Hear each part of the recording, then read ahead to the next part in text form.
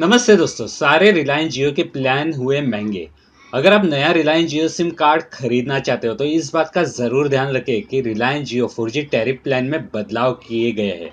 जी हाँ Reliance Jio four G launch हुआ था तो बहुत सारे Reliance Jio preview offer welcome offer हमें मिल गए थे और आखिर में हमें रिलायंस जियो की तरफ़ से जियो धन धनाधन ऑफ़र दिए गए थे जो कि ती, तीन मंथ के लिए वैलिड था थ्री मंथ्स के लिए वैलिड था। दोस्तों बहुत सारे लोगों का रिलायंस जियो धन धन धन धनाधन प्लान बीस जुलाई को ख़त्म होने वाला है। इसके बाद आपको जियो प्लान रिचार्ज करना पड़ेगा। पर क्या आपको पता है रिलायंस जियो के धन धनाधन प्लान दोबारा नहीं मिलेगा? जी हाँ आपको जियो सिम प्लान को सिलेक्ट करना होगा। अगर आप नए नए जियो यूज़र्स हो, आपने रिलायंस जियो सिम खरीदा है अपने स्मार्टफ़ोन के लिए तो फिर आपको फ़र्स्ट टाइम रिचार्ज पे धन धनाधन ऑफ़र मिलेगा। जी आ, लेकिन इसके लिए आपको रिलायंस जियो प्राइम मेंबरशिप लेनी पड़ेगी। अगर आपका रिलायंस जियो प्लान धन धनाधन ऑफ़र ख़त्म होगा तो उसके बाद आपको regular Reliance Jio four G prepaid और पोस्टपेड टैरिफ प्लान के हिसाब से रिलायंस जियो प्रीपेड प्लान और रिलायंस जियो पोस्टपेड प्लान लेने होंगे।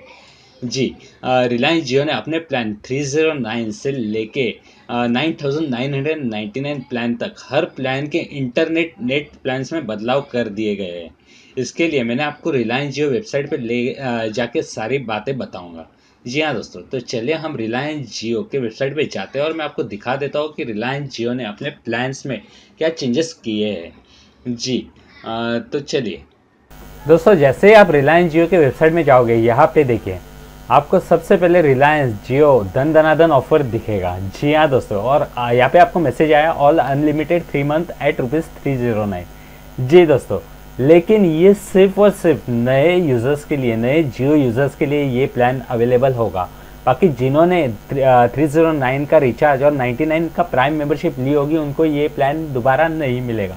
उनके लिए अलग से रिचार्ज करना पड़ेगा। चलिए हम देखते हैं कि रिलायंस जियो ने नए प्लान्स क्या लॉन्च किए तो हम यहाँ पे प्लान्स में जाएँगे। जैसे ही हम प्लान्स में जाएँगे, यहाँ पे आपके सामने सारे प्लान्स आएँगे जियो प्राइम मेंबर्स के लिए। दोस्तों, यहाँ पे देखिए 1949 जो भी प्लान्स थे इसमें कुछ भी चेंजेस नहीं किए वन फोर्टी तक। जी मतलब 1949, 96, 149 प्लान्स में वही मिलेगा जो पहले मिलता था जियो प्राइम मेंबर्स को। जी और देखिए यहाँ पे 309 के प्लान पे हम जैसे क्लिक करेंगे यहाँ पे लिखा हुआ आया है फ़र्स्ट रिचार्ज अनलिमिटेड और उसके लिए 84 जीबी मिल रहा है। मतलब कि जैसे मैंने बताया कि जो भी नया यूज़र होगा उन वो अगर रिलायंस जियो प्राइम मेंबरशिप लेता है और रिलायंस जियो का धन धनाधन ऑफ़र लेता हूँ उससे एटी फोर जी बी का प्लान मिल जाएगा। एटी फोर जी बी और वो भी 84 दिन के लिए 84 डेज़ के लिए वैलिडिटी होगा। लेकिन अगर आप पहले ही ले चुके हो ये प्लान तो आपको आ, आ, आपका 20 जुलाई के बाद आपको सब्सिक्वेंट रिचार्ज मारना है जिसमें कि आपको सिर्फ़ और सिर्फ़ 28 दिन के लिए वन जीबी पर डे का डाटा मिलेगा। और वो भी उसकी वैलिडिटी भी 28 डेज़ की होगी। मतलब कि 28 डेज़ के बाद आपको दोबारा 309 का रिचार्ज मारना पड़ेगा। जी हाँ दोस्तों इसलिए मैं बता रहा था कि रिलायंस जियो ने अपने प्लान्स को महँगे बना दिए।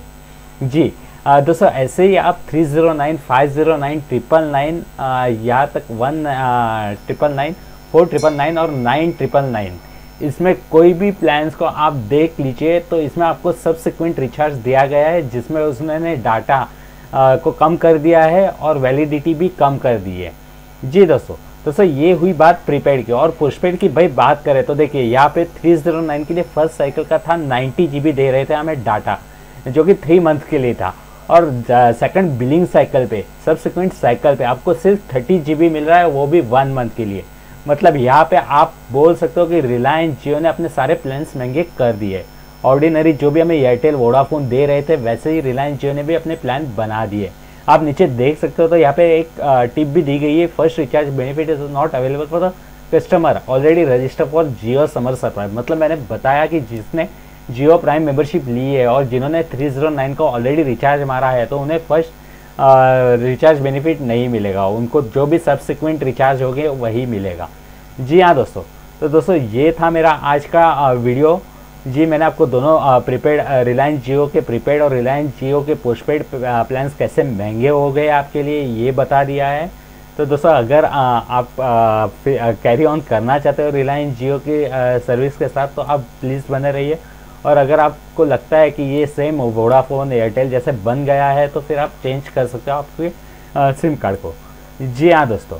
तो दोस्तों, ये था मेरा आज का वीडियो। अगर आपको पसंद आया होगा तो ज़रूर लाइक कीजिए सब्सक्राइब कीजिए मेरे चैनल को। और हाँ दोस्तों thank you for watching my video bye bye see you take care